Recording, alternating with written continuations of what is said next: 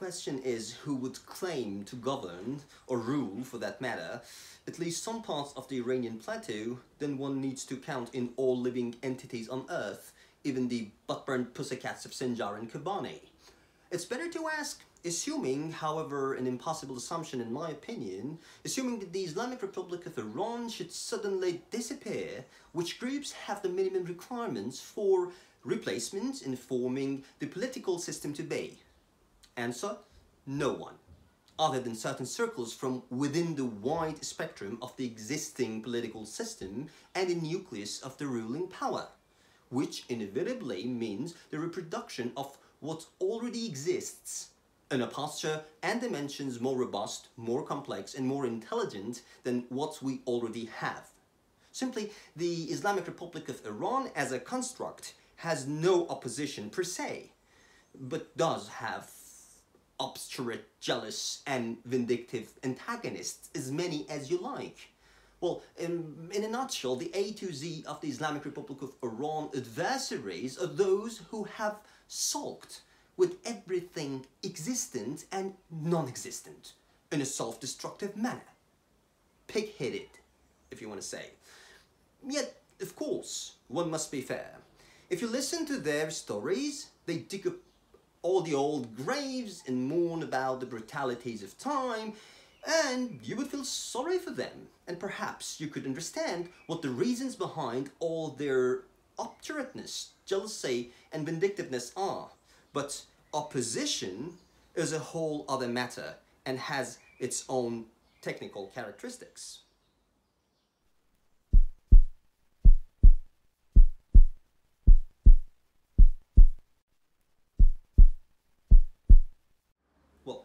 See, for any antagonist group to be in opposition, the characteristics are twofold, theoretical and practical.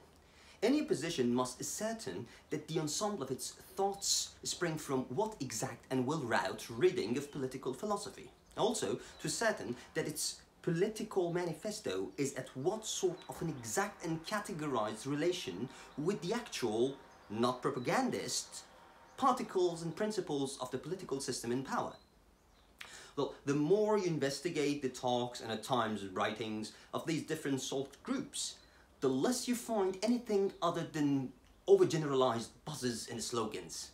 You see, all these non-stop rattling drumbeats over keywords such as democracy and freedom and human rights. But they never explain what exact reading of any of such general notions.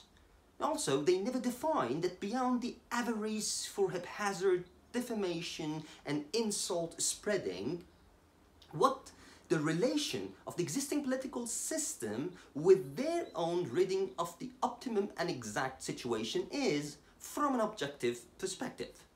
Well, see, the Islamic Republic of Iran enjoys a solid and structured foundation in political philosophy in which the principal guardianship of the jurist, contrary to what some proponents of this principle think, is only a segment of the crust.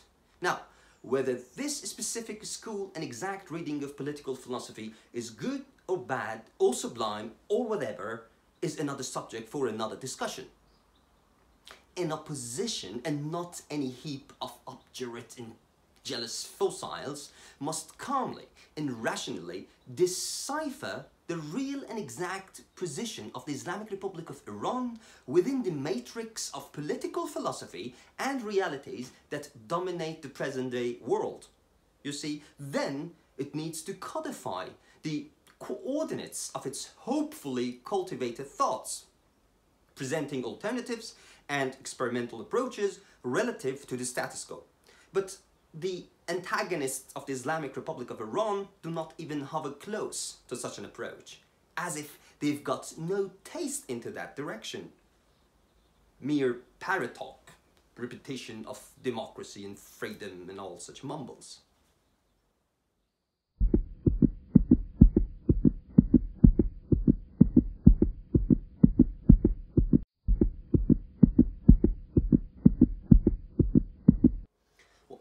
First of all, let me stress that I consider the unfamiliarity with the policies of the Islamic Republic of Iran only as a virtue of the antagonist groups. I believe that a gigantic and meaningful majority of Iranians inside the country, whether they should be from the middle class or below that, even if they should have thousands of grieving from their conditions of livelihood, do fully comprehend the necessity for the strategic presence of their country in transboundary affairs and in West Asia.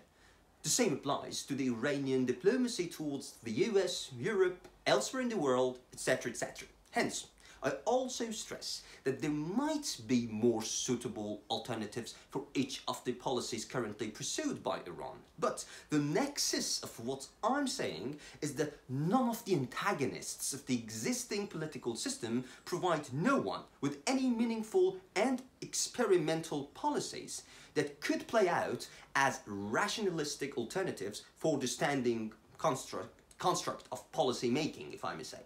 Now, as an example, let's look at the Iranian missile policy.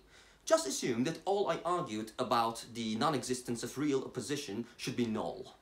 We accept that there exist solid and structured oppositions that are mighty in all their aspects, with righteous foundations in both theory and practice. And tomorrow, one of such imaginary opposition groups gains the power. No pain, no blood. Okay, now, what do they want to do with the advanced missile industry of the country? Throw them all into the sea? When they find Saudi, Saudi's, I mean, multi-hundred billion military purchases, when they see that atrocities in between these sheikdoms beneath the Persian Gulf, when they face the Zionists not available even to say a word about their atomic arsenal, when they realize that the US has engulfed Iran with its military bases, when they behold the cumulative militaristic advancements in Turkey and, and, and, what exactly is going to be the missile and military policy and approach of such an imaginary political system that has replaced, imagine it, I mean, in an imaginary world, the Islamic Republic?